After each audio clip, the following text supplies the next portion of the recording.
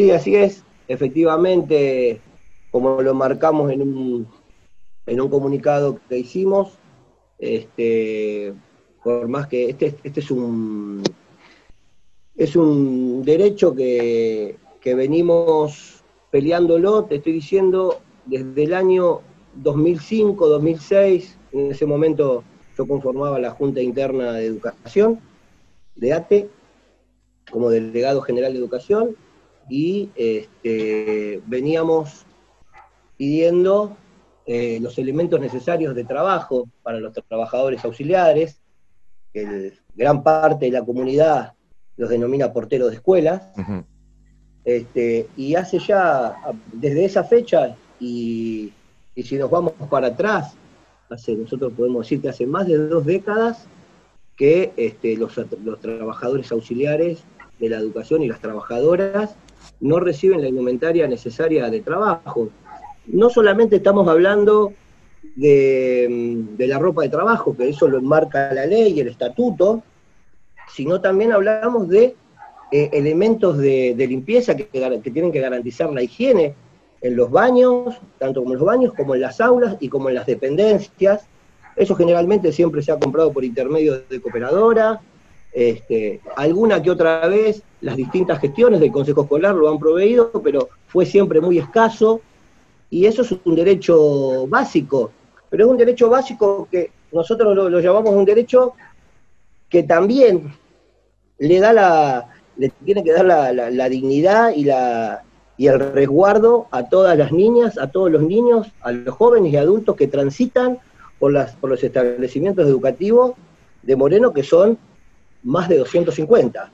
Este, y por eso creemos que eh, por más que hayan pasado dos décadas, que hoy este Consejo Escolar y este cuerpo de consejeros escolares haya aprobado ese proyecto de disposición, disposición, digo que no es un proyecto, es un derecho básico que se viene reclamando hace décadas y que va a ser muy necesario de acá hacia adelante porque estamos atravesando este momento de pandemia, como se dice, ¿no? estamos en el marco de una pandemia, y en donde va a ser muy necesario los elementos de limpieza, de higiene y la ropa de trabajo que necesitan las trabajadoras y los trabajadores auxiliares de la educación.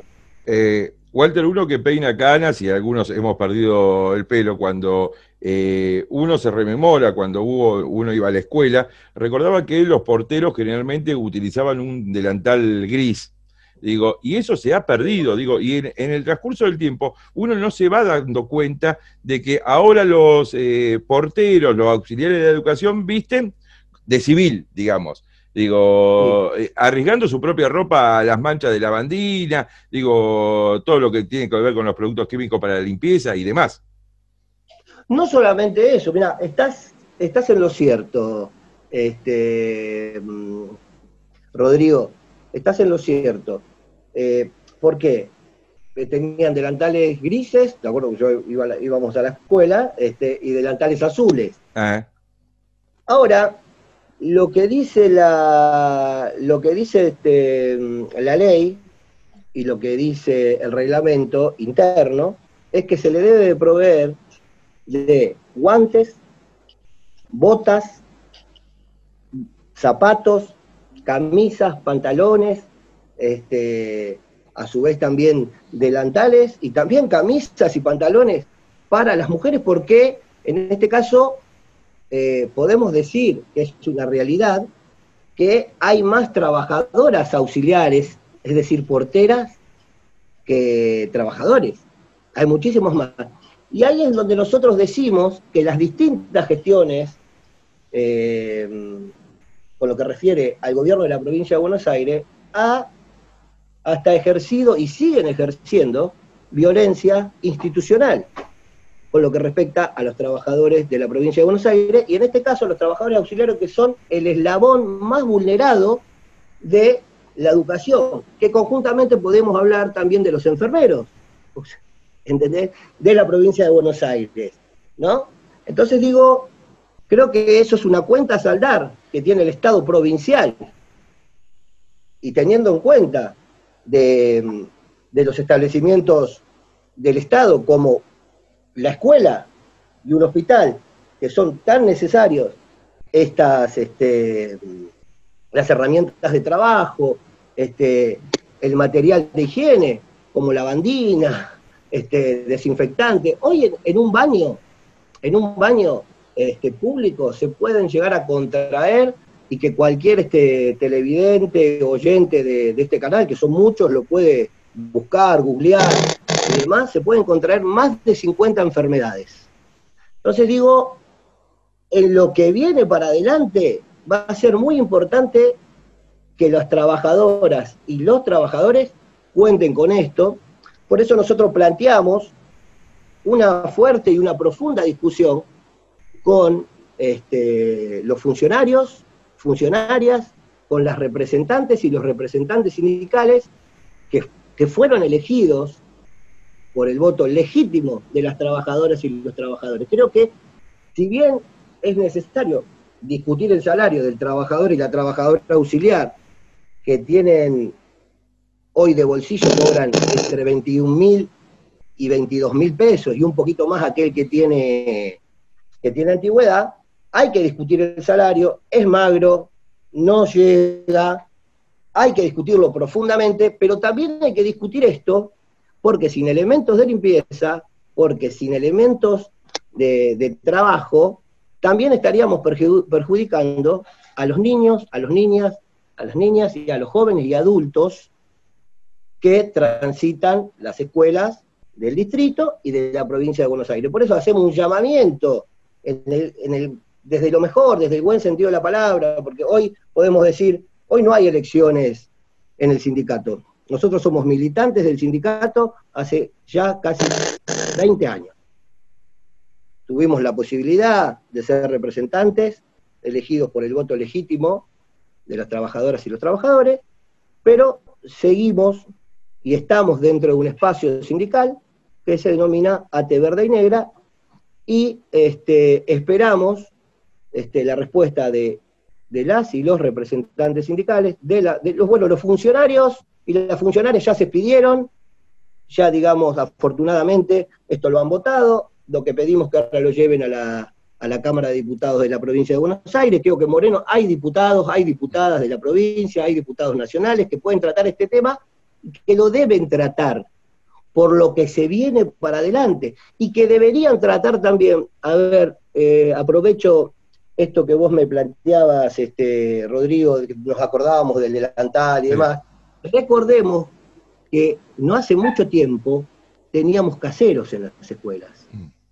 Y cuando hubo caseros, no sucedían los casos que hoy suceden semana a semana en las escuelas, que son que la gente, que alguien entra a la escuela, la rompe, y después, ¿qué es lo que sucede? Nos quedamos dos o tres días, cuando me digo nos quedamos, hablo de la comunidad, sin clases porque se rompe el baño, porque se rompe una puerta. Entonces, creo que cuando, creo no, cuando había caseros, eso no sucedía.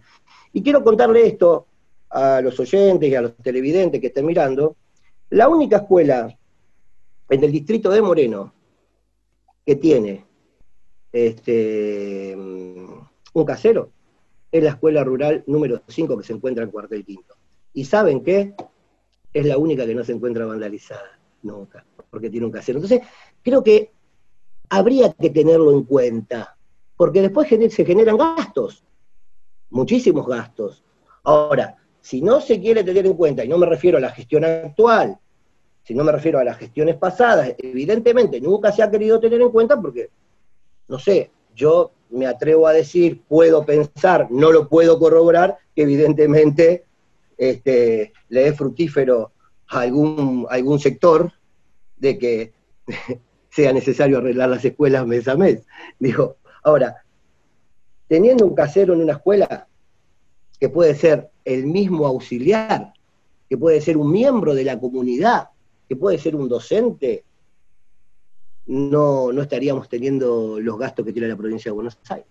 Walter, eh, por último, eh, con respecto a esta resolución, que, específicamente cuál es el marco legal que tiene lo que aprobó el Consejo de, Escolar y qué aplicación tiene. ¿Tiene que pasar ¿Es un pedido hacia la Cámara de Diputados, hacia la Dirección General de Cultura y Educación?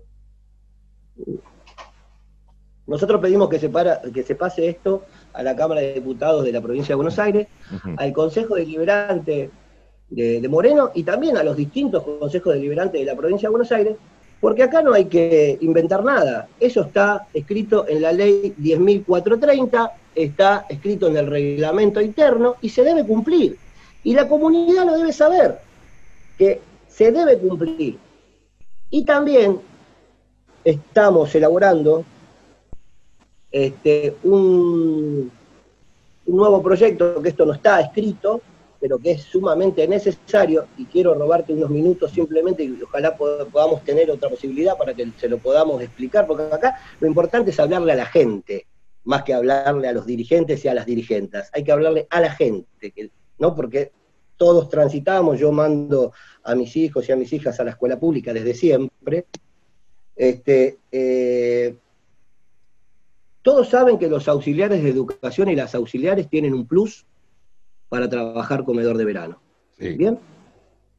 Todos saben que las trabajadoras y los trabajadores auxiliares pueden hacer cursos, los gran los cursos este, están cuestionados, este, pueden hacer cursos de cocina, de manipulación de alimentos y demás.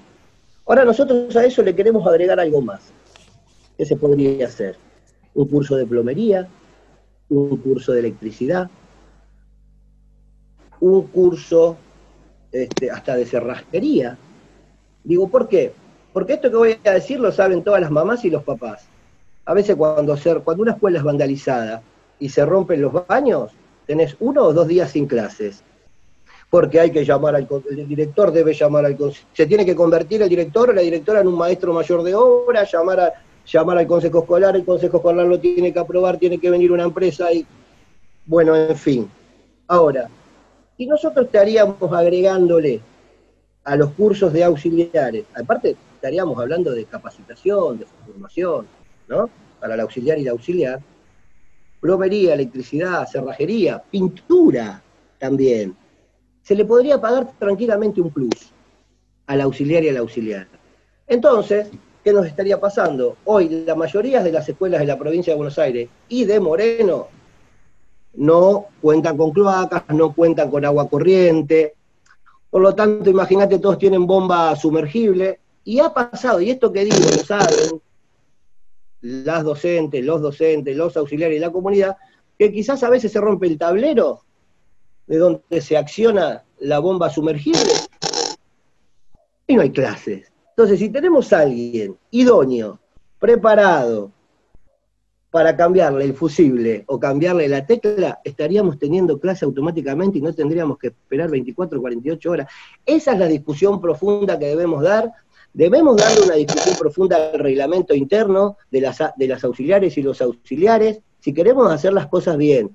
Porque lo que tienen que entender las y los funcionarios de la provincia de Buenos Aires y las gestiones que han pasado y las que están, que las trabajadoras y los trabajadores auxiliares de la educación no son de segunda ni de tercera y que juegan y que cumplen un rol fundamental, esencial en lo que es la higiene y el ordenamiento de la escuela, que le hace bien a la comunidad. O sea, es decir, nosotros desde ATE Verde y Negra queremos discutir un sindicalismo más integral un sindicalismo comunitario que tenga relación con la comunidad y no de ser cuestionados por, la comunidad y elevar el piso de discusión y que los trabajadores y las trabajadoras del Estado empecemos a tener una relación más directa con la comunidad y no una relación de pelea de trabajadoras y trabajadores contra trabajadores y trabajadoras.